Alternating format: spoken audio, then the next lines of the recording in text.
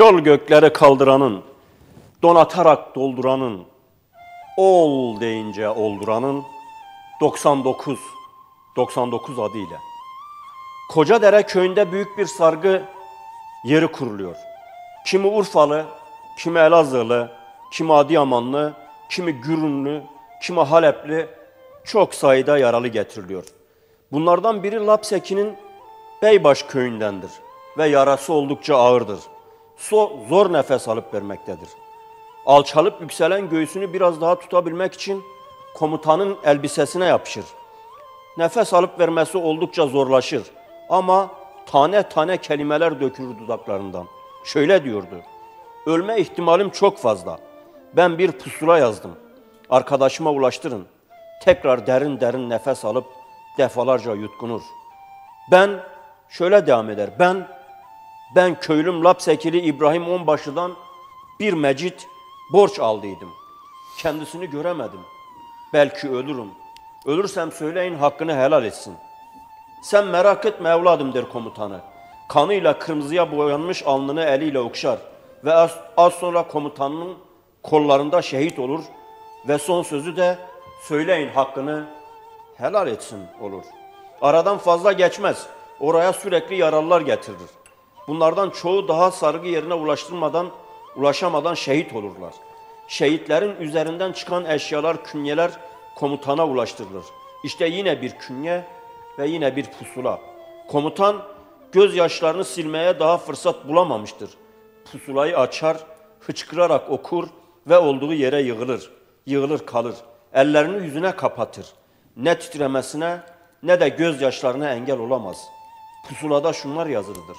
Ben Beybaş köyünden arkadaşım Halil'e bir mecit borç verdiydim. Kendisi beni göremedi. Biraz sonra taarruza kalkacağız. Belki ben dönemem. Arkadaşıma söyleyin, ben hakkımı helal ettim. Evet, selam olsun şanlı maziye. Selam olsun şühedaya. Selam olsun şanlı ecdadımıza. Rabbim bizleri onlara layık kul eylesin ve kul hakkını bilenlerden eylesin. Ona da geleceğiz inşallah programımız içinde kul hakkına da geleceğiz. Hocam orada özellikle namaz 5 vakit, ahlak 24 saat vaktinde gelecek oraya da inşallah. Hocamız sayın eğitimci, aynı zamanda ilahiyatçı hocamız Hasan Gökmen hocam hoş geldiniz. Hoş bulduk Bugünkü Ferhat hocam. konuğumuz şeref verdiniz. Teşekkür ediyorum Ferhat Hocam. Allah razı olsun. Hocam hemen geçelim isterseniz. Evet başlayalım yavaş yavaş inşallah. Hocam bildiğiniz üzere ülkemiz ve tüm dünyada salgın haline dönüşmüş olan koronavirüs hakkında bir ilahiyatçı olarak genel anlamda Ne, ne söylersiniz? Bugünlerde çünkü hakikaten herkesin konuştuğu Gündemimiz korona Rabbim koronavirüs. de bize Evet. esirgesin biz de çorbaya bir tuz atabilirsek buyurun hocam. Ki e, bu salgından önce de e, depremi 24 Ocak Elazığ depremini yaşayan bir e, şehir olarak yani Evet. bunları da birleştirerek belki e, bir şeyler söylemek gerekiyor. Şimdi genelde e, Ferhat Hocam e, gerek doğal afetlerde ve gerekse işte günümüz e, bugün de çokça konuşulan koronavirüs Evet. e, hep teknik açılardan e, değerlendiriliyor. Yani deprem olduğunda e, gündemi takip ettiğimizde e, işte fay hatları, jeoloji mühendislerinin e, izahları, e, Türkiye'nin deprem bölgesi olması, işte depreme dayanıklı e, inşaatlar nasıl yapılır? Tabii yani bunları düşünmemiz lazım. Bugün koronavirüs e, gene e, gündemde. Evet. E, sadece ülkemizde değil, bütün dünyada. dünyada, yani evet. e, bir anlamda pandemik dediğimiz e, küresel bir salgın haline dönüşmüş durumda. E, bunlar tabii ki teknik noktada, bilimsel açıdan e, şey yapılacaktır, ele alınacaktır.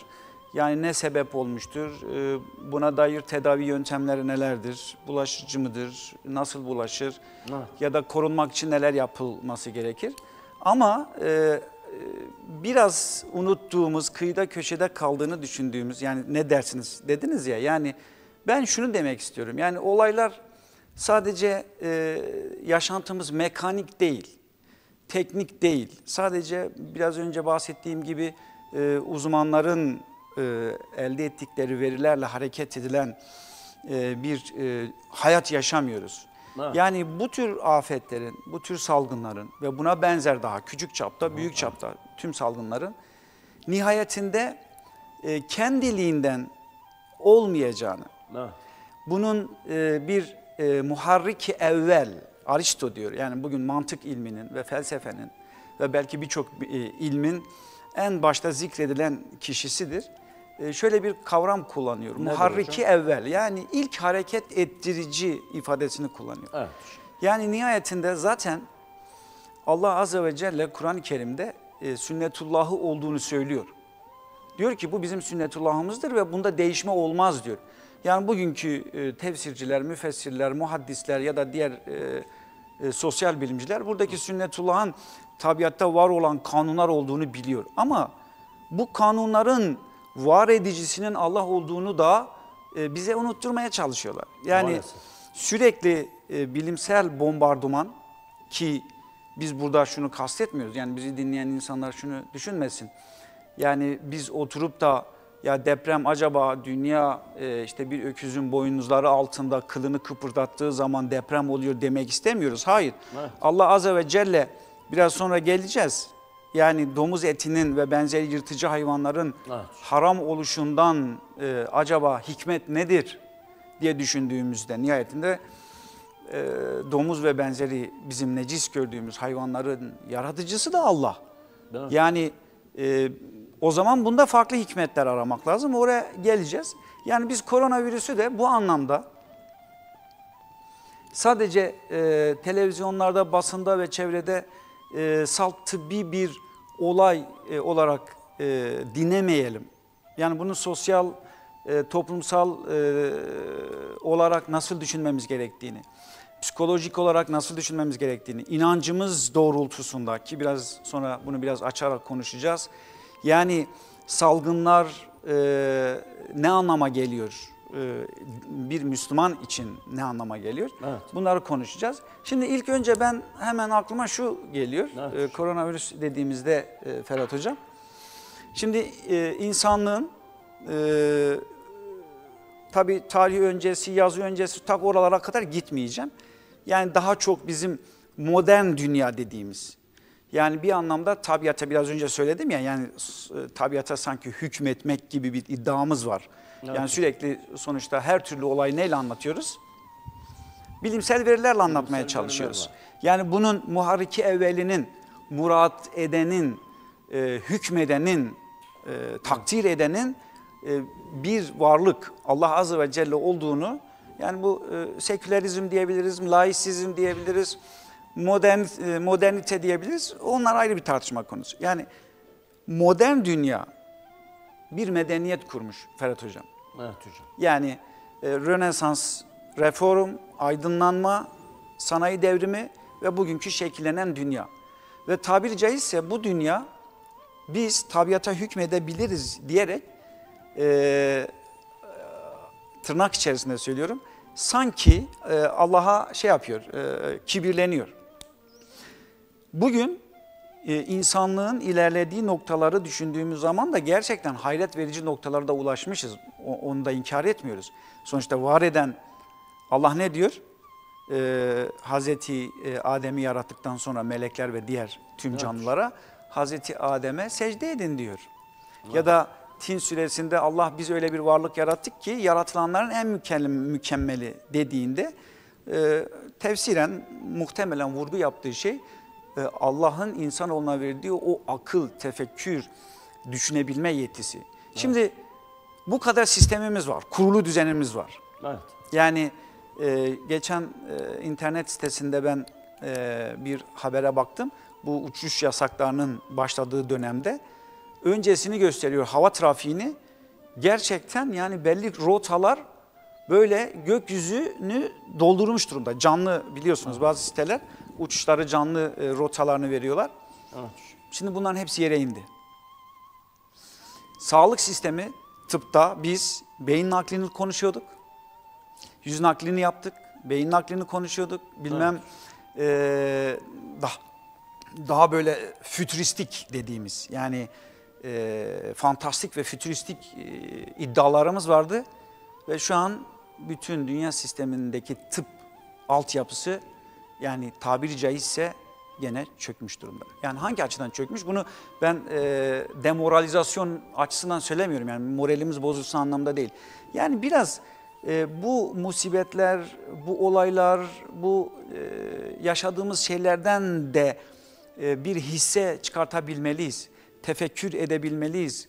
Var ediciyi, var edenin niçin var ettiğini, hangi sistemler üzerinden var ettiğini de düşünmek açısından ben bunları söylüyorum. Evet hocam. Ve yani bugün işte e, şey e, İtalya'daki dediğimiz gibi tıbbi altyapı çökmüş durumda ve e, geçen herhalde birkaç saat önce e, Çekoslovak mı bir e, Çek Cumhuriyeti mi bir başka bir ülke mi Avrupa Birliği yalanmış dedi. E, niçin? İşte Avrupa, şu an İtalya'yı tabiri caizse resmen yalnız bıraktılar. Schengen şu an resmi anlamda var. Schengen dediğimiz yani Avrupa'daki dolaşımın Evet hocam. bir anlamda e, serbestlisi o da e, şey olmuş durumda. Yani kısacası şu, siz Allah Azze ve Celle'nin e, Nisa suresinin 78. ayette bahsettiği gibi siz e, sağlam kalelerde bile olsanız, sarp yamaçlarda da olsanız Allah'ın hükmü orada ölüm diye geçiyor. Yani gelip sizi bulacaktır. Ben bunu e, bu konuyla paralel olarak değil yani anlattığım anlamda Allah'ın gücünün hiçbir e, mevcut e, insanoğlunun yaratımıyla ya da ortaya koyduğuyla kıyaslanamayacağı haşa diye bir tefekkür etmek lazım.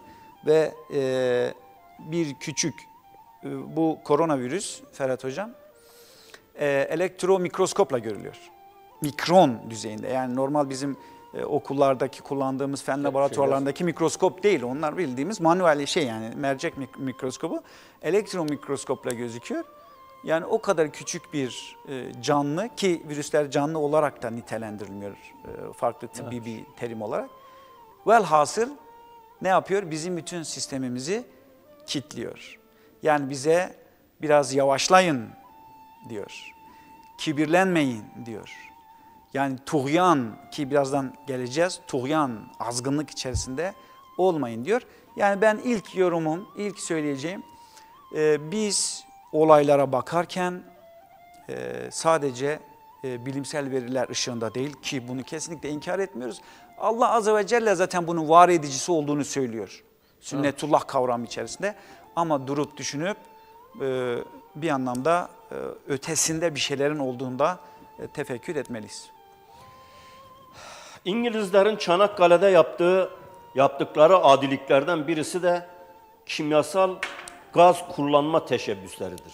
Sayın hocam dedi ya her şey bilimsel verilerle açıklanmıyor. edilemiyor. Benim anlatacağım da bu işte. Bir bu bir insanlık cinayeti. Lordlar kamerasında Churchill tarafından gündeme getirmişti. Bunun bir insanlık suçu olduğu vurgulanınca Churchill Türkler insan değildir. Bu yüzden gaz kullanmamızda bir sakınca yoktur diyerek oradakileri ikna etmişti. Varillerle kimyasal gazlar gemilere yüklenip Çanakkale'ye sevk edildi. Rüzgar mevsimin özelliğinden dolayı denizden karaya doğru esiyordu. Varillerin kapaklarını açacaklar.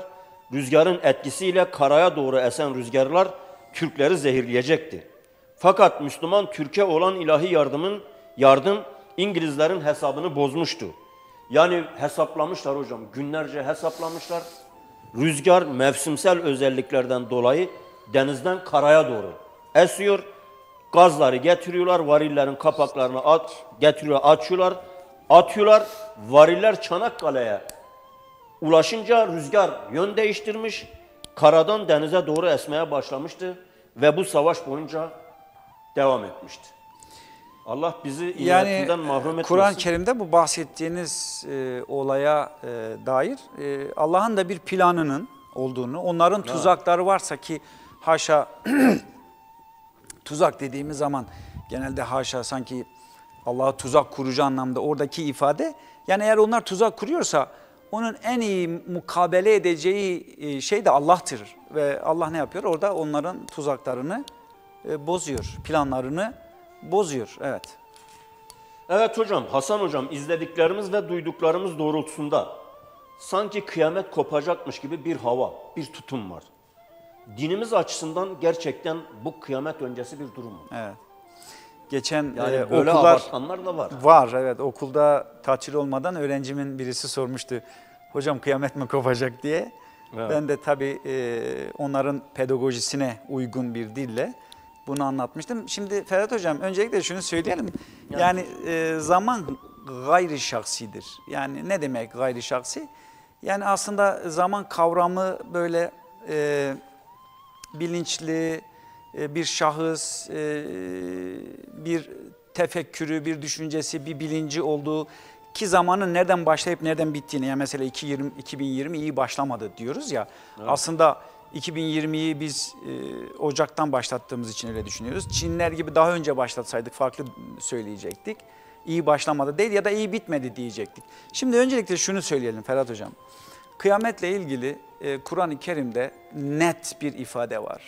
O da Evet. e, Resulullah dahi, Resulullah sallallahu aleyhi ve sellem Efendimiz dahi bilemeyeceğine dair. Evet. Ki buna e, paralel Resulullah'ın e, bazı alametler şeklindeki hadisleri var. O aslında biraz e, doğru anlaşılmadığından yani e, ben bunu çok teferruatlandırmayayım konumuz dağılmasın ama şöyle bir kısaca temas edecek olursak yani e, biz bazen kendi aramızda diyoruz ya ya işte bak ha işte kıyametin sonu ha işte bu çocuk ne olacak? gibi onun yaptığı bir şeyden onun kıyametin sonu gibi nitelendiriyoruz ya. Yani bu yani edebi bir ifade olarak e, belki e, bunlar olursa artık insanlık ölmüştür. Yani gerek kıyamet kopa Yani manasıyla yani Resulullah'ın e, o hadislerini belki öyle e, anlayabiliriz. Ama şu net e, ortada Kur'an-ı Kerim'de Allah Azze ve Celle kıyametin ansızın e, ve insanların buna tabiri caizse yakalanacağını söylüyor. Yani ansızın ve göz e, kırp açıp kapayıncaya kadar manasıyla. Yani öncesinde bunun işareti, öncesinde bir belirtisi e, olduğu şeklindeki e, inanç çok doğru değil. Nitekim yani e, bu tür felaketler gerek doğal gerek tıbbi salgınlar e, ve diğer e, felaketler tarih süreci içerisinde de çokça karşılaştığımız şeyler. Yani mesela bin, e, 14. yüzyılda e, 1347 ile 1351 yılları arasında gene Çin'de maalesef başlayan Evet. kara veba isim. hocam maalesef özür dilerim ben gireyim de. Evet. Maalesef dediğiniz o yerden hep çıkıyormuş hastalıklar hocam. O gün böyle bir yani bu doğruysa Evet. Yani bu kara veba mesela gene Asya kökenli. Hindistan ve Çin'den. Asya kökenli. Yani belki e, Çin'in e, nüfusu o dönem tam e, ne kadar bilemiyorum ama yani e, nüfusla da ilişkilendirilebilir. Ama e, bu 1347 yılında yani Orta Çağ Avrupa'sında Avrupa'yı yakıp yıkan, Avrupa nüfusunun üçte birini e, telef eden, yani bir rivayete göre 75 ile bir rivayete göre 200 milyon arasında insanın öldüğü o kara veba dediğimiz olay. Arkasında e, ben şöyle bir e, göz geçirdim. Yani 16. 17. 18. yüzyıllar 19. yüzyıllarda yani e, dünya çapında epidemik e, dediğimiz bölgesel, pandemik dediğimiz küresel anlamda da yani hem bölgesel anlamda e, afetler daha doğrusu salgınlar e, olmuş ya da afetler olmuş. E, hem de dünya çapında. Şimdi bunlar e, tarihin seyri içerisinde yani biz Müslümanların tarih anlayışı şudur Ferhat Hocam. Tarih döngüseldir. Yani e, bir anlamda e, Batılılar tarih tekamülcü bir tarih anlayışı vardır. İlerlemecidir, doğrusaldır. Bizde ise daireseldir. Yani biz bir yaşadığımızı Evet. e, daha sonra yine yaşayacağız e, manasıyla e, kısaca yani çok teferruata inmeden. Yani bu yaşadığımız olaylar tarihin e, eski dönemlerinde yaşadığımız, karşılaştığımız, okuduğumuz, e, kaydedilen yani e, bununla ilgili birkaç ben film de izlemiştim bu Kara Veba Orta Çağ'la ilgili. E, deri altının siyahlaşması, kanayan yaralar yani Hazreti Eyüp Aleyhisselam'ın Kur'an-ı Kerim'de e, ki o hastalığı da muhtemelen e, bir veba ki vebanın çeşitleri var yani e, buna e, Yersini pestis diyorlar bu orta çağdaki yaşanan olaylara. Bu açıdan biraz arka arkaya gelmesi işte biz depremi yaşadık. Avustralya'da yangın vardı. Arkasında işte bizim açımızdan ülkemiz açısından çığ felaketi. Sonra bizim ordumuzun işte yaptığı operasyonlar ve Deprem. e, deprem ve e, bugünkü ol- olay e, böyle bir çağrışım yaptırıyor ama e, inancımız Kur'an-ı Kerim'deki ayetler alt alta koyduğumuzda e, evet kıyamet kopacak. Yani bu hak inandığımız e, bir inanç e, ilkesidir. Ama ne zaman, nasıl e, onu bilemiyoruz. Kur'an en azından bu konuda evet e, öncesinde Dabbetul Arz dediği e, ve benzeri e, Yecüc Mecüc olayları var. Bunlar biraz daha farklı yorumlanıyor. E, ama e, biz de bilmiyoruz tabii ki yani bu muhatabı Resulullah bile bilememişse. Ama diyebiliriz ki bunların arka arkaya gelmesinin çok yüksek bir anlamı e, yok. Ama tabii e, konuşmanın başında değindiğim bizim bir durup düşünmemiz noktasında tabii ki anlamı var. Yani birazdan belki e, geldiğimizde peygamber kıssalarındaki o e, suç ceza ilişkisi noktasında bunların çok anlamı var. Ama kıyamet noktasında yani düşünün e, dünya kadar insan ölmüş, savaşlar olmuş, doğal afetler olmuş, yanağ dağlar patlamış, büyük depremler oluşmuş. E, ama e, dünyada binlerce yıl devam dönmeye devam etmiştir yani. Hocam çünkü sizinle sohbetimiz güzel oluyor. Allah razı olsun. Sizi bulmuşken soruları ben biraz arttırdım. Ben hiç araya girmeden hemen devam edeyim. Yani kısa gül deste bir gül esintisi sunmadan devam edeyim. Hocam bildiğiniz üzere Kur'an'da birçok peygamber kavmine bazı musibetler verilmiştir. Evet. Bu salgını bu açıdan nasıl değerlendiririz? Nasıl değerlendiriyoruz? Yani zaten Kur'an kıssaları yani bizim e, edebiyatımıza ya da bizim e, dilimize de söylem olarak e, gelmiştir ya. Yani daha doğrusu girmiştir. Yani kıssadan hisse diyoruz ya. Yani o kıssalardan bir pay çıkartmak, e, bir anlam çıkartmak ve bunun gerek inancımız gerekse de davranışımızı değiştirmesi beklenir. Ve e, Kur'an-ı Kerim'de de yaklaşık olarak e, yani 28 ama 25'inin kesin peygamber olduğunu biliyoruz. E, Üç ismin Lokman, e, Zülkarneyn ve Üzeyr e, şahıslarının ya da e, muteber insanların da Evet. peygamber olup olmadıklarını bilmiyoruz. Ve bu kısalar hep o dönemdeki e, toplulukların, kavimlerin e, gerek ahlaki, gerek Evet. inanç, gerek ticari, e, gerekse de e, e, psikolojik yani tuğyan biraz önce e, girişte söyledim tuğyan konusunda gerekse de psikolojik e, mevzularda birer uyarı olmuştur. E, yani Kur'an kısalarını e, belki üç kısma ayırabiliriz.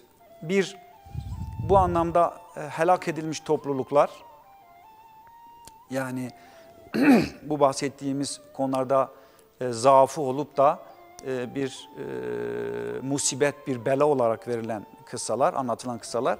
Evet. E, diğer taraftan Peygamber Efendimizin mücadelesini anlattığı Bedir, Uhud, Ahzab savaşlarını ve benzeri olayları anlattığı e, kıssalar. E, ve diğer taraftan da e, gene e, bazı salih kullardan bahsedilen e, Evet. olaylar, hikayeler ya da kıssalar.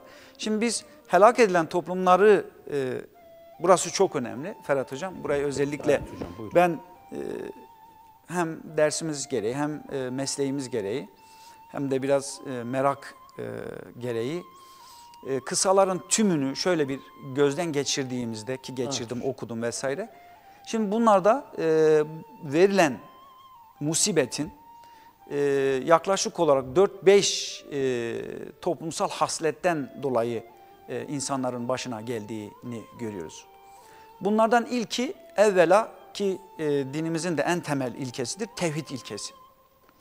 Yani Allah'a ortak koşulması e, gerek e, taştan, topraktan, puttan ya da e, farklı maddeleri Allah'a e, Ortak ortak, koşmaktan, şirkten dolayı verilen e, bazı toplumlara verilen musibetler.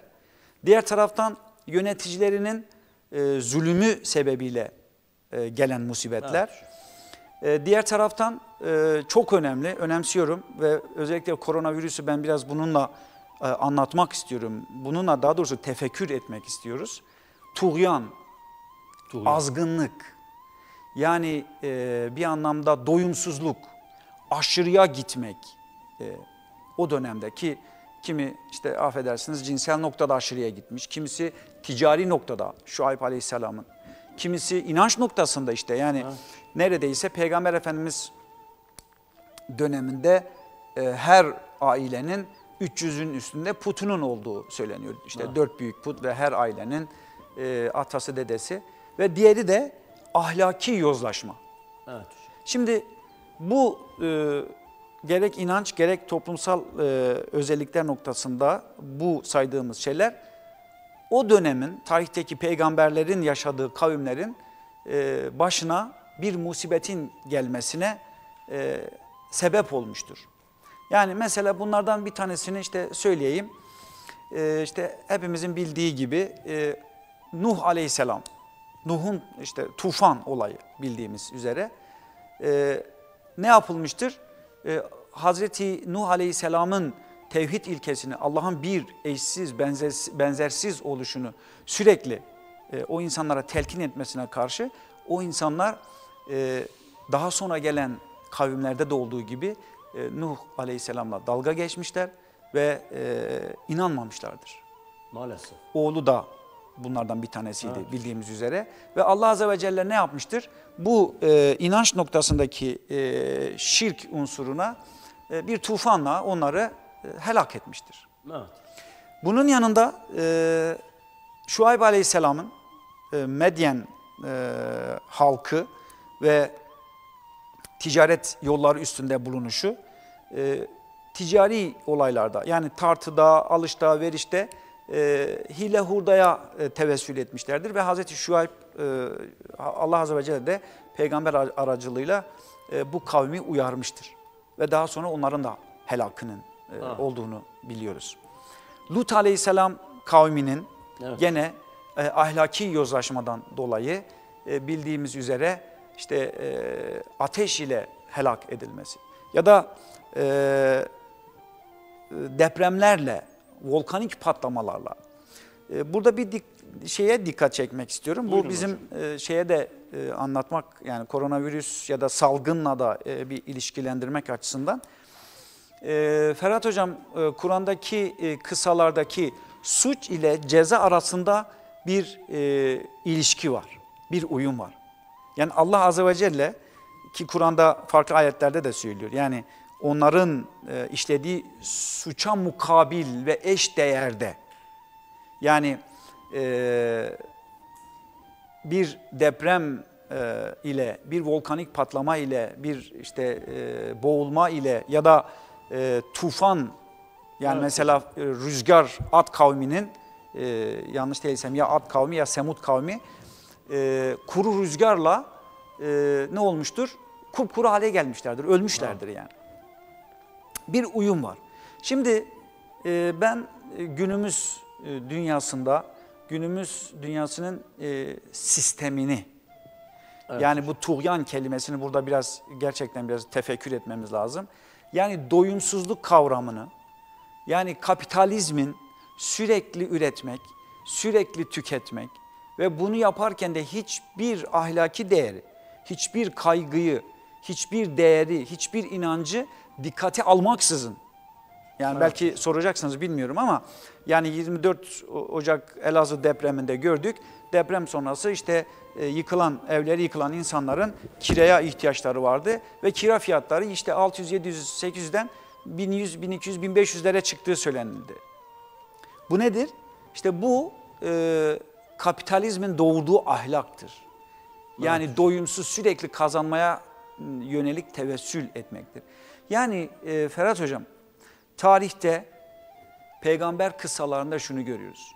Evet. Bir toplum hangi noktada azgınlık yaşamışsa, aşırıya gitmişse Allah Azze ve Celle o toplumu uyarı mahiyetinde.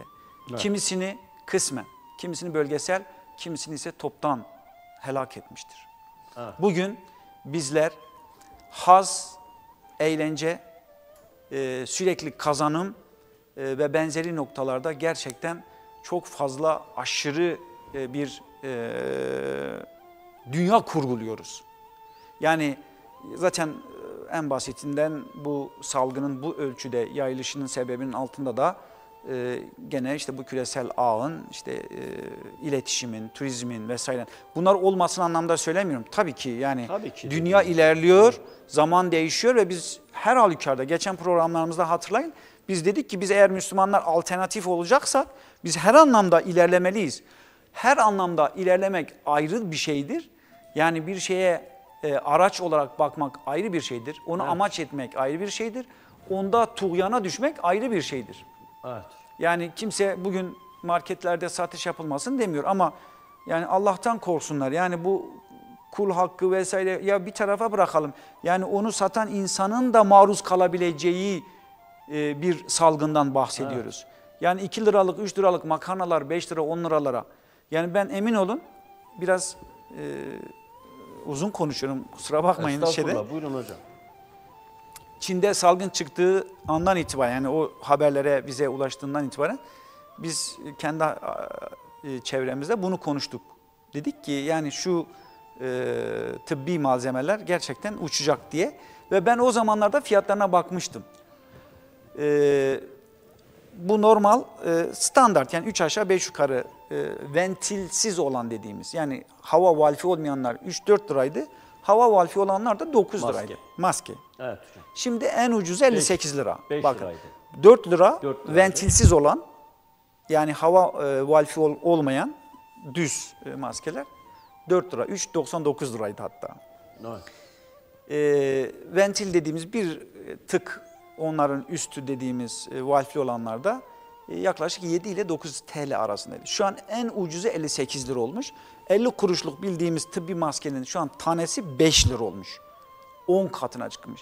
Şimdi bunlar e, bizi e, düşündürmeli. Ve biz e, bu, bu koronavirüsten ya da buna benzer salgından, buna benzer doğal afetlerden bir ders çıkartmalıyız. Kendi nama hesabımıza, toplumumuz adına. Yoksa gerçekten o biraz önce bahsettiğiniz gibi kıyamete doğru ilerlemiş oluyoruz yani. Tüccar hemen hocam aslında şunu söyleyeyim Allah razı olsun değin, değiniyorsunuz değindiriyoruz. Bizim aslında kendi kendimizi eleştirmemiz lazım. Nefs eleştirisi de bu değil mi? Nefsimizi. Evet. Değil mi hocam? Kendi kendimizi de yapıcı bazen kendi kendimizi... Kendimizi hesaba çekmek. Resulullah Ale- Aleyhisselatü Vesselam diyor ki ölmeden önce, hesaba çekilmeden önce kendinizi hesaba çekin. Hocam çekelim mi? Evet. Çekelim. Çekelim, evet. Tüccar bir cemiyetin temel unsurudur. Tüccarları dürüst olan milletler sağlam bir içtimai yapıya sahip olurlar. Tüccarların da ticaret ahlakı olan, tüccarların da ticaret ahlakı olan toplumlar hak, adalet, huzur ve saadet içinde mutlu bir hayat geçirirler. O halde Müslüman bir tüccar nasıl olmalıdır? Hocam bu çok uzun ama ben birkaç tane sunayım. Ticaretinde nelere dikkat etmelidir?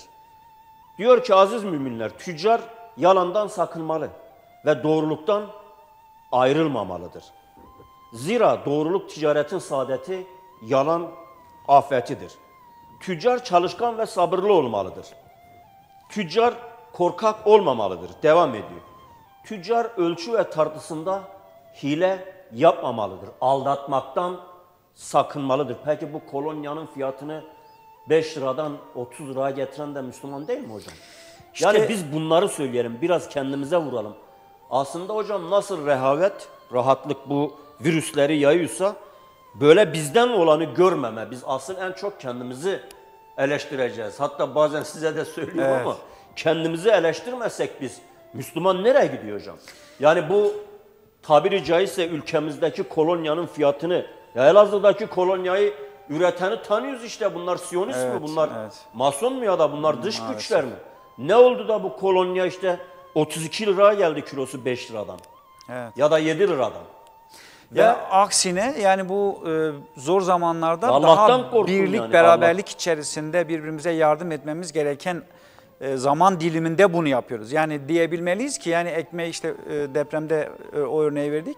Yani fiyatları indirip insanların daha rahat ev bulmasını ya da biraz önce bahsettiğiniz gibi temel gıda maddesi ya da e, kolonya ve benzeri şeyleri ülkemizde ulaşılabilir kılabilmemiz gerekirken tersini yapıyoruz. Özellikle devam ediyorum yine Evet. hocam size aslında soru sorayım soracağım. Evet. Ben onun için biraz zamanımız yetmeyecek gibi geliyor. Özellikle hadis-i şeriflerde Efendimiz baş tacımız, liderimiz, önderimiz, her şeyimiz Peygamber Efendimiz buyuruyor ki kara borsacılık yapan melundur. Diğer taraftan diyor ki aman bir şey satarken yemin etmekten kaçının. Yemin malı sattırır fakat bereketi kaldırır. Devam ediyor, devam ediyor, devam ediyor. En sonunda diyor ki Efendimiz sallallahu aleyhi ve sellem.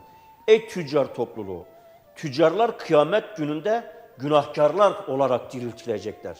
Ancak Allah'tan korkan, iyi ve doğru hareket edenler hariç. Yani orada riskten bahsediyor tabii. Yani e, eğer İşte bunu risk hocam. tabii bunu Sen yaptığı o zaman e, maskeyi böyle yaptığın evet. zaman iki bu, Sonu kim ne hocam Evet. bu memlekette?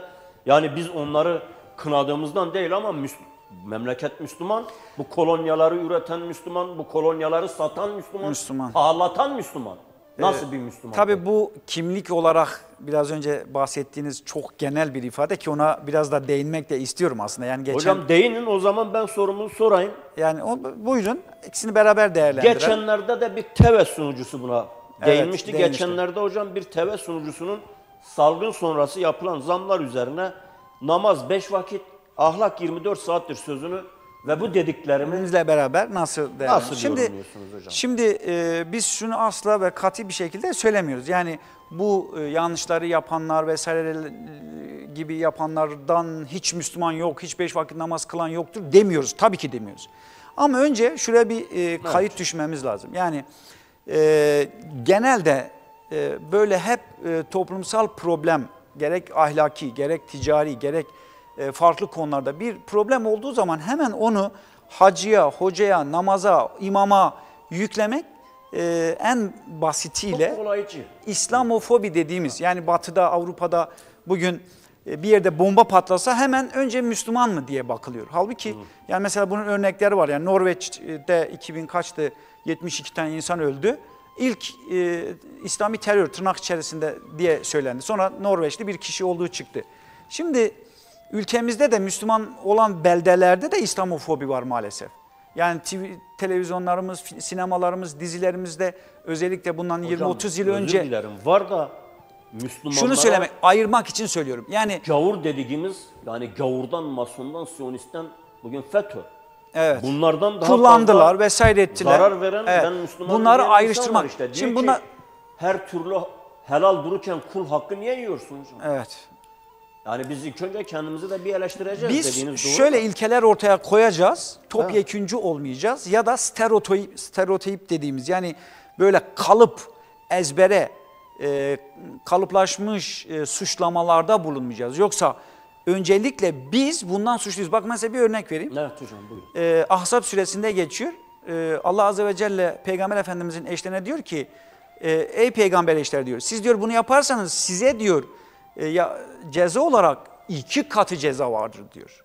Evet. Yani bunun mesuliyet, sorumluluk ve bilgiyle ilişkili olarak düşündüğümüzde Hocam bu biz ara- Müslümanların bir saniye Bu hocam. ara bir Müslümanlar özür diliyorum hocam programımızın sonuna geliyoruz. Bu konuda yoğunlaşıp toparlarsanız. Tamam o zaman şöyle diyelim yani biz Müslümanların e, bu konuda yükümlülüğü daha fazla. Resulullah Aleyhis- Aleyhisselatü. Vesselam diyor ki Müslüman elinden ve dilinden emin olduğun kişidir.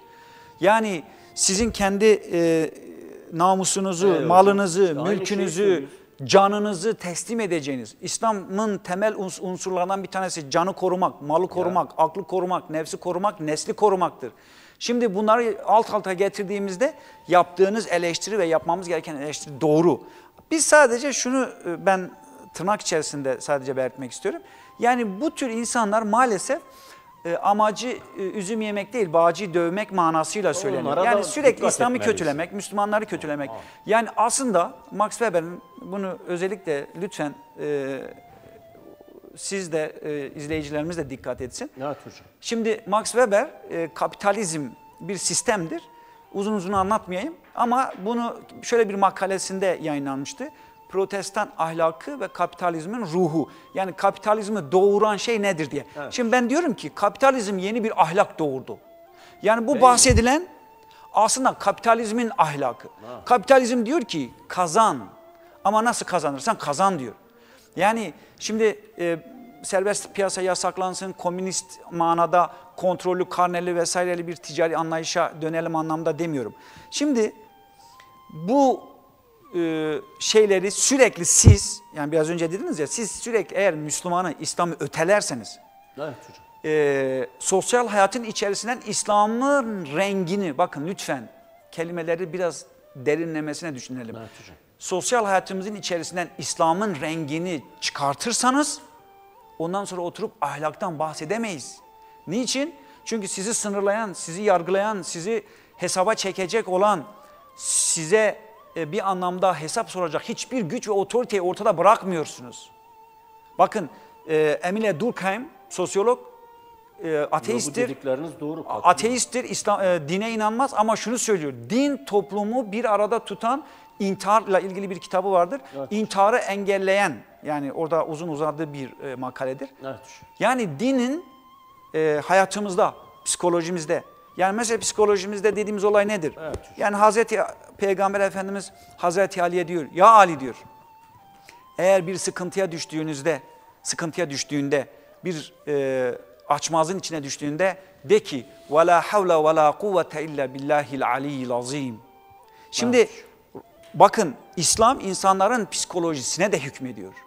Rahatlatıyor vesaire. Evet. diyor. Biz bunları gündemimize taşıyacağız e, ve bunları tekrar tefekkür edeceğiz. Mesele e, sadece bilimsel teknik mekanik mesele değil, mesele din, toplumsal ve psikolojik de bir mesele. Hocam Teşekkür Çanakkale ile ilgili bir şey söylemek ister misiniz? Valla. Çanakkale ben özellikle şunu söylemek istiyorum. Maalesef e, to- e, toplu gösteri ve e, programlar ertelendiği için yarın nasıl yapılacak bilemiyoruz. 18 Mart Evet. biliyorsunuz Çanakkale Şehitler e, an- anma töreni. Ben e, şehitlerimize e, tarihte e, İslam şehitlerine, ülkemizin, vatanımızın e, evlatlarına, toprağa düşmüş o e, yiğitlere şükranlarımızı, minnetlerimizi sunuyorum. Allah'tan rahmet e, bah- e, diliyoruz. Evet. E, ve e, günümüzde de bugün varlığımızın e, Çanakkale'yi keşke biraz daha konuşsaydık. Yani Çanakkale savaşlar e, 1400, 1914-1915 yaklaşık bir yıldan fazla sürüyor. O savaşların ehemmiyetini bugün Anadolu'nun korunmasının kapısının anahtarının kilidinin Evet. olduğunu da e, söyleyelim. Rahmetle ve minnetle ve şükranla anıyoruz. Allah e, yerlerini mekanlarını cennet etsin. Eğitimci, ilahiyatçı hocamız Hasan Gökmen hocam çok teşekkür ederiz. Ben teşekkür ediyorum. Geldiniz, bizim Halkımıza da boğdunuz. inşallah e, Allah'tan bir muhafaza diliyorum. Allah ülkemizi, vatanımızı, milletimizi, tüm İslam alemini ve tüm insanlığı muhafaza etsin. Bu Amin. salgıdan salgından e, inşallah en has en az hasarla çıkarız ümidiyle.